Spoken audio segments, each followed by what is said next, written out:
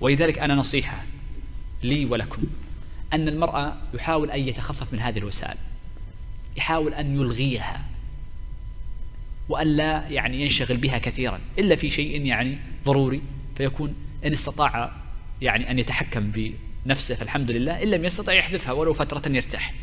بعض الناس لو حذف عنه لم يأتي بهاتفه معه ربما أحس أن الدنيا قد يعني انهدمت وتأثر تأثر كثير جدا كثير الآن وجد عندنا.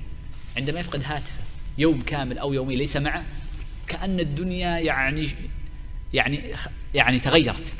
وذلك يجب أن تعود نفسك على تركه. اتركه أيام ليكن معك آخر للتواصل مع أهلك.